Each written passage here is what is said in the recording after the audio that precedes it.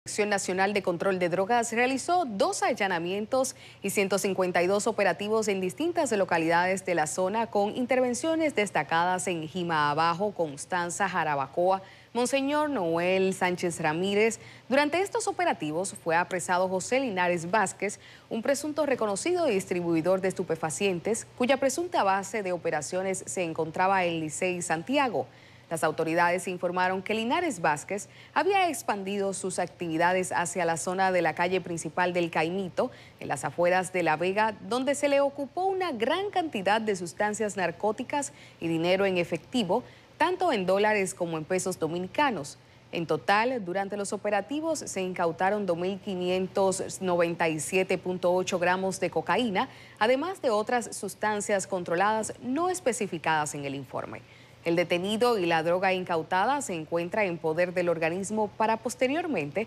enviar a la acción de la justicia al detenido y la droga al Instituto de Ciencias Forenses de San